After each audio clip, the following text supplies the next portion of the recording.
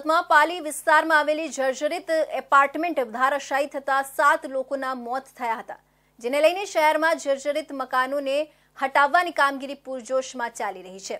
ત્યારે પાલનપુર વિસ્તારમાં આવેલા મહાવીર કોમ્પ્લેક્સની બાલ્કની રાત્રિના સમયે ધારાશાયી થતા ફરી એકવાર હડકંપ મચી ગયો હતો. પાલનપુર કેનાલ રોડ પર મંગળવારે મોડી રાત્રે એક બિલ્ડિંગમાં દાદર સુધી પહોંચવાની બાલ્કની પડી ગઈ હતી. જેથી બે માળમાં રહેતા અગિયાર પરિવારના સુડતાલીસ લોકોના રેસ્ક્યુ કરાયા હતા. ફાયર બ્રિગેડ ઘટના સ્થળે પહોંચી તમામને સીડીની મદદથી રેસ્ક્યુ કરી નીચે ઉતારી લીધા હતા.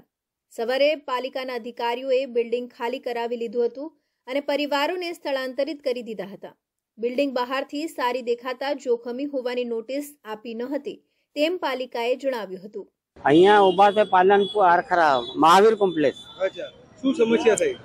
એ સજ્જુ ખાલી પડી ગયું. ક્યારે પડી ગયું? રાતના લગભગ બાર સાડા બાર વાગે. કઈ એસએમસી દ્વારા નોટિસ કેવું કઈ હતું? ના કોઈ નોટિસ નહીં. મકાન રહેવા લાયક હતા બધા? હા રેવાયેલા લાયક હતા. અચ્છા અત્યારે શું એસએમસી દ્વારા શું કામગીરી થઈ રહી? અત્યારે તોડફોડનું કામ ચાલે છે. તમે કેટલા વર્ષથી શું અહીંયા કઈ રીતે રહેતા? વીસ વર્ષથી રહીએ છે.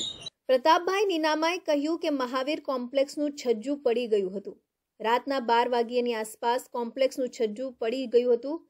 આ કોમ્પ્લેક્સને કોઈ નોટિસ અપાઈ નહોતી. રહેવા લાયક જ મકાન હતું. અમે અહીં વીસ વર્ષથી રહીએ છીએ.